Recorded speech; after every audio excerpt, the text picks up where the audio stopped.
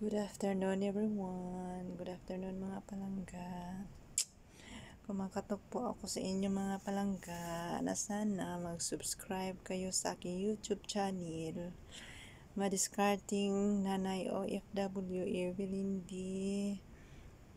And follow my Facebook page Evelyn Daduli Vlog. Yun na lang guys.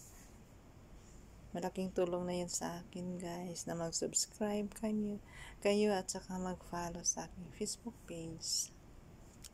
I'm a new vlogger so kailangan ko talaga may meron akong kahit 100 subscriber na lang. Masaya na rin ako dun. So ngayon, ang gagawin ko wala akong magawa eh. Pupunta sana ako sa central. Ipapaayos ko yung ano ko. Yung cellphone ko yung isa. Isa kong CP kasi hindi ako marunong mag-open. Pupunta ako doon kasi magpapaturo ako kung paano buksan yung isang CP. Nahihirapan akong buksan. Tapos, bumili ako ng uh, SIM card, another SIM card. Kasi ilalagay ko doon sa isang CP para at least naman dalawa yung cellphone ko ang magagamit.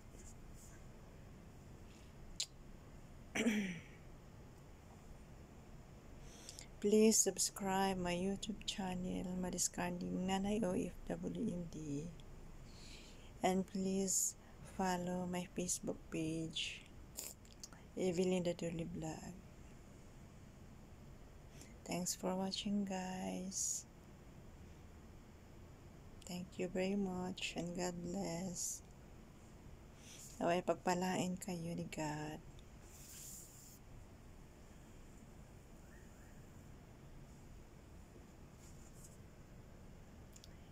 It's sunny Monday.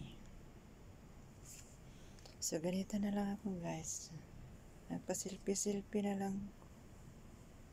Ay, ano pala.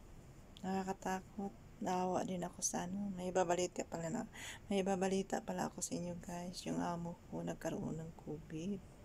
So ngayon, nasa ano pa sila, nasa US pa sila ngayon.